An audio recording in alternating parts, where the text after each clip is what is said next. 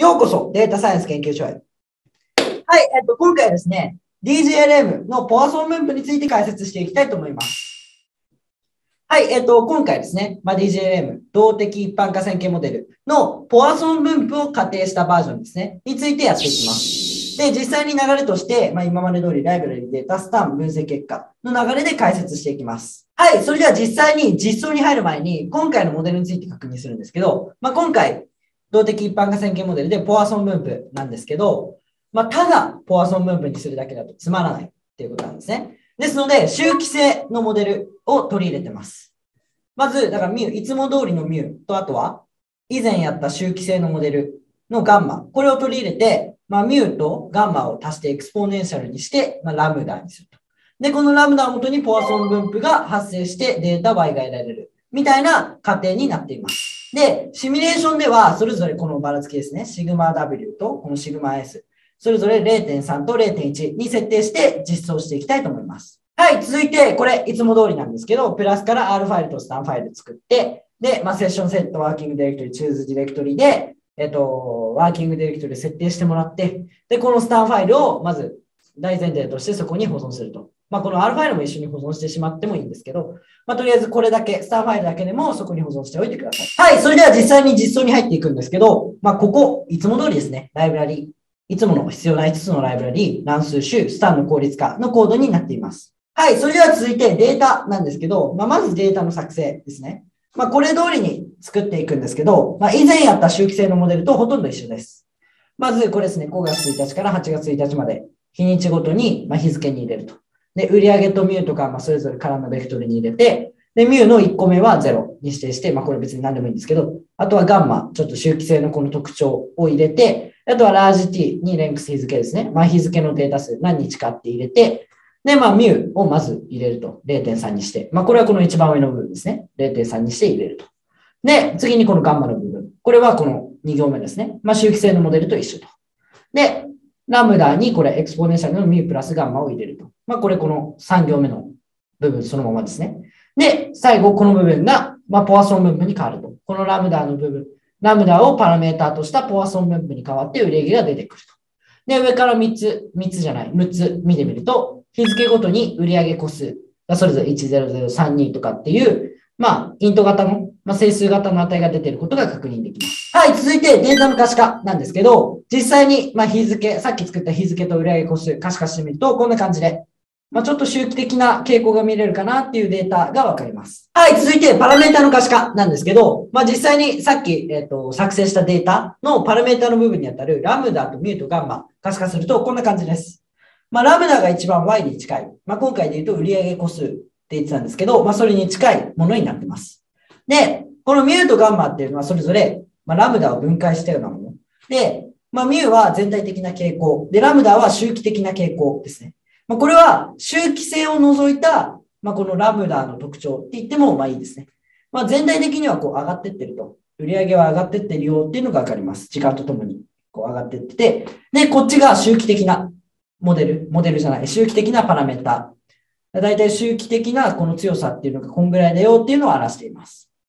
で、これらのデータっていうかパラメータっていうのはまあ本当はわからないですね。今回はシミュレーションでラムダとかミューとかガンマを元にして作ってるので、まあその正解である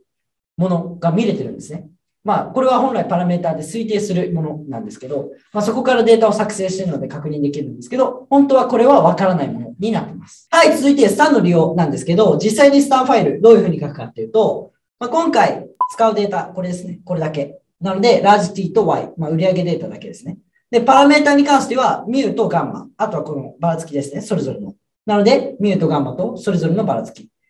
で、ここにシグマ V が来ちゃってるんですけど、これはいらないです。ちょっと11行目間違えてますね。消しちゃってください。で、次に transformed parameters なんですけど、これはこの部分ですね。イコールの部分。ミューとガンマ足して、 exponential かけてラムダ。ミューとガンマ足して、 exponential でラムダ。で、モデルの部分はそれぞれ、このチルダーの部分の3行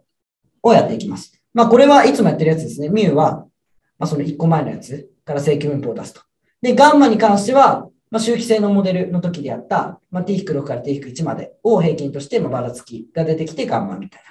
で、最後この部分がポアソン分布、ラムダを元にしたポアソン分布から発生するっていう風になってます。で、次に、この generated quantities。まあ、予測分布ですね。まあ、この y、実際に出していきたいんですけど、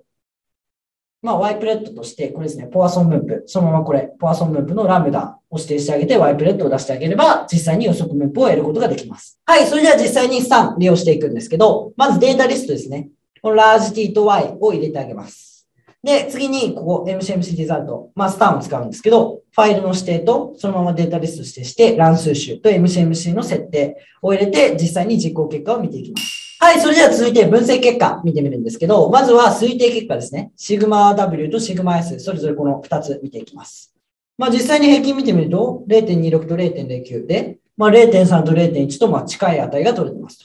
で、この95%の区間を見てみると、まあ、ちゃんとそれぞれ0.3と0.1が入っていることがわかると。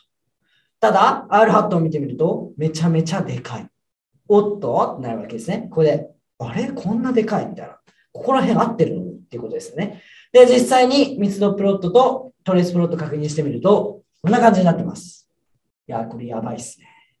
どこかわからない。こっちか、こっちになってて、まあ、うまく推定できてないことがわかります。ですので、まあ、えっと、まあ、いつも通りですね。これが気になる方っていうのは、